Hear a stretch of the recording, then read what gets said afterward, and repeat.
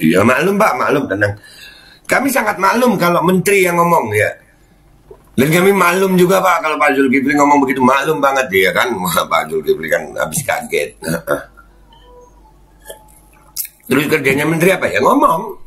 Assalamualaikum warahmatullahi wabarakatuh guys Gue dapet kiriman kaos nih keren ya Tulisannya pure blood Ada dua warna ya Ada warna hitam Tulisan putih dan warna putih tulisan merah Bahan kainnya enak dan ini dari pureblood.forever ya Ini akun IG-nya langsung kalian eh, follow IG-nya, Instagramnya Dan kalian, kalian bisa pesan di situ ya Dan itu katanya hasil penjualannya bisa dibantukan untuk perjuangan kita melawan mandatory vaksin Stay healthy, stay pure blood. Stop mandatory vaksin. Merdeka. Allah Akbar. Assalamualaikum warahmatullahi wabarakatuh. Welcome back, selamat datang lagi di channel Babeldo Bersama gue Babeldo, youtuber receh yang tetap santuy Tetap akal sehat, jangan lupa ngopi. Bismillahirrahmanirrahim. Ah. Alhamdulillah Rabbil Alamin wassalamu ala sayyidil mursalin Sayyidina Muhammad wa ala alihi wa sahbihi Rabbi sadri wa yasir li amri wa hlul uqdatan min lisani yafqahu qawli bi nabi wa ali. Salam revolusi akhlak, semangat revolusi akhlak. Semoga akhlak kita jadi lebih baik hari ini dibanding kemarin. Banyak umur perjuangan merdeka Allahu Akbar. Salam sejahtera bagi seluruh rakyat Indonesia di mana pun kalian berada. Semoga kalian dalam keadaan sehat walafiat, tidak kurang suatu apa pun.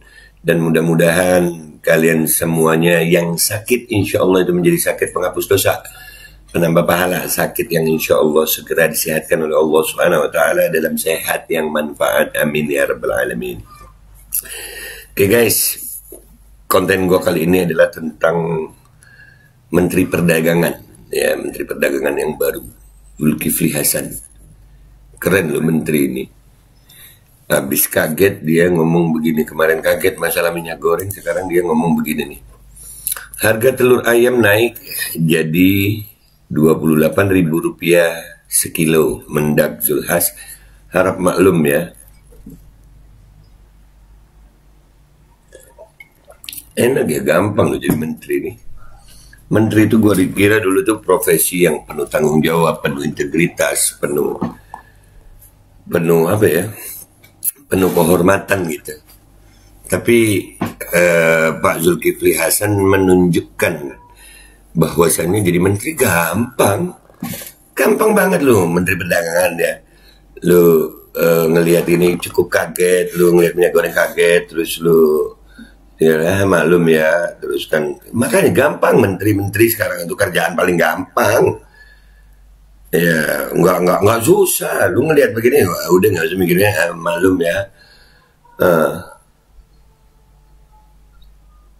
Menteri Kesehatan gampang banget pokoknya wajib mandatory nggak usah diskusi. Ini gampang jadi menteri nggak perlu susah. Apa susahnya jadi menteri sekarang? Nggak ada. Gaji gede ya kan? Gaji gede dapat fasilitas negara. Huh, tapi untuk melaksanakan tugasnya gampang. Ada kan waktu itu apa masalah daging keong ya kan? Daging mahal makan keong ya kan? Ada ya? Uh, gampang menteri. Kerjaan gampang. Yang susah itu kerjaan jadi apa? Jadi rakyat itu susah. Gaji nggak seberapa jadi rakyat ini susah mulu ya kan? Kalau menteri wah gampang banget. Ternyata memang uh, ajari anak-anak kalian ya jangan bercita-cita jadi menteri gitu Kenapa? Kerjaannya gampang, nggak ada kemuliaan sama sekali kayaknya begini. Nggak ada nggak ada tantangan gitu. Jadi menteri uh, cuman bilang kaget, cuman ngomong harap maklum. Enak ya.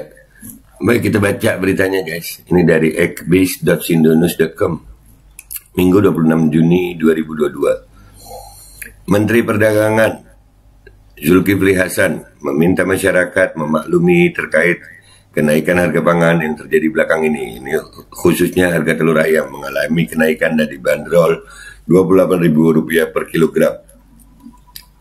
Sekarang harga memang ada kenaikan sedikit seperti telur dulu sebelum puasa Rp24.000 per kilogram. 26.000 per kilogram, kemarin 29.000 per kilogram, sekarang 28.000 per kilogram, turun 1.000 rupiah. Tapi memang masih tinggi. Harap maklum ya, ucap, ucap Zulhas saat meninjau harga bahan pokok di pasar keramat Pasar Jaya Keramat Jati dikutip Minggu 26 Juni 2022. Ya maklum Pak, maklum tenang. Kami sangat maklum kalau menteri yang ngomong ya. Dan kami maklum juga Pak kalau Pak Zulkifli ngomong begitu maklum banget ya kan. Pak Zulkifli kan habis kaget. Terus kerjanya menteri apa ya? Ngomong. Itulah. Salah satu kerjanya menteri ngomong harap maklum. Salah satu kerjanya menteri begitu emang. Menurut dia, harga kenaikan eh, kenaikan harga telur ini disebabkan banyak peternak ayam dan petelur yang mengalami kerugian akibat pandemi Covid. Jadi berimbas pada telur di pasaran, pada harga telur di pasaran. Jadi jika kurun waktu satu bulan ini harga telur naik itu wajar karena untuk menutupi kerugian yang dialami sebelumnya jelasnya. Oh, jadi eh, petani telurnya yang eh, ya, ya ya ya peternak telurnya ya peternak ayam petelurnya yang yang yang salah. Iya Pak, Menteri nggak salah. Wajar. Menteri salah guys, enggak. Sampai salah ngambil gelas kopi gue. Yang ini dulu dihabisin. Harap maklum guys. Zulhas mengatakan untuk harga beras saat ini berada di kisaran Rp10.000 per kilogram sampai Rp12.000 per kilogram. Kemudian harga daging ayam kini sebesar Rp38.000 per kilogram. Dan harga daging sapi capai Rp140.000 per kilogram. Harga cabai rata-rata cabai keriting antara Rp60.000 per kilogram sampai Rp70.000 per kilogram. Cabai rawit merah sekarang Rp85.000 per kilogram sampai Rp90.000 per kilogram dan bawang putih Rp30.000 per kilogram terang Zulhas. Guys, ini kan yang disampaikan Pak Zulhas nih. Di daerah kalian, ini kan di Keramat Jati, di daerah kalian berapa itu harga cabai itu? Ya, harga cabai ini kalau di sini eh, beras 10.000 sampai 12.000. Ayam, daging ayam 20, eh, 38.000. Sapi 140.000 Nah, kalau di daerah kalian berapa komentar di bawah ya. Jadi biar siapa tahu tuh ini beneran nih yang disampaikan Pak Zulhas ini bener apa kagak. Jadi selain menyampaikan harga-harga ini ya, cabai keriting 60 ribu sampai 70 ribu, cabai rawit 85 ribu sampai 50 ribu, bawang putih 30 ribu. Beneran nggak tuh di daerah kalian berapa ya harganya tuh yang disebutin tadi tuh komentar di bawah? Ketua Umum Partai Amanat Nasional ini menjelaskan kenaikan harga pangan saat ini disebabkan oleh beberapa hal seperti karena ada perubahan geopolitik dunia yang memang yang memanas dan kelangkaan energi yang membuat harga pangan naik. Nih, alasan klasik. Alasan klasik bahwasanya dunia begini, dunia begini.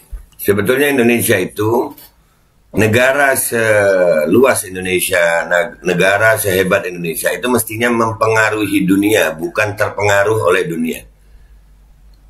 Kalau pemimpinnya benar, Indonesia ini mempengaruhi dunia, bukan terpengaruh oleh dunia. Karena Indonesia nggak perlu terikat oleh dunia, Indonesia bisa hidup, bahkan menghidupi negara lain apa yang nggak ada di Indonesia? Sinar matahari paling bagus di Indonesia. Sinar matahari. Sehingga membuat tanah-tanah di Indonesia itu kecukupan untuk sinar matahari dan bisa menumbuhkan banyak tanaman. Iklim itu paling bagus Indonesia. Hasil bumi paling bagus Indonesia. Ya, di Indonesia ini apa yang nggak ada? Jadi kalau ada pemerintah atau pejabat yang mengatakan dipengaruhi oleh dunia berarti memang ekor. Ekor, mentalnya mental ekor. Kalau pemimpin kepala, Indonesia itu mempengaruhi dunia, Pak. Indonesia nggak perlu dunia luar, dunia luar yang perlu Indonesia. Catat itu, Pak. Jangan dunia keadaan dunia luar dijadikan alasan. Indonesia ini yang bisa mempengaruhi dunia. Jadi pemimpin kok ngekor aja pak. Pemimpin itu kepala pak. Makanya kebiasaan jadi buntut naga sih nggak mau jadi kepala ayam. Mending kepala ayam daripada buntut naga kalau kata umi saya pak. Mama saya mudah-mudahan umur panjang sehat afiat. Buntut buntut naga ngebuntut aja lu. Coba jadi pemimpin gitu pak. Zulhas menyebut kenaikan harga pangan di negara-negara barat sudah mencapai sekitar 10 persen, sementara kenaikan harga pangan di Indonesia sekitar 3 persen. Ini terjadi karena Indonesia dibantu dengan subsidi dan bantuan sosial yang diberikan pemerintah, kata dia. Alasan apa begini, Pak?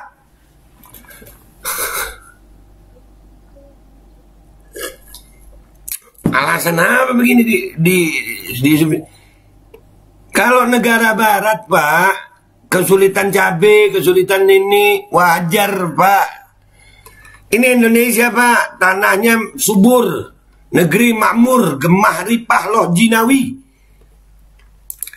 Indonesia tidak terpengaruh pak mestinya oleh keadaan dunia luar. Indonesia yang memberi pengaruh kepada dunia luar pak.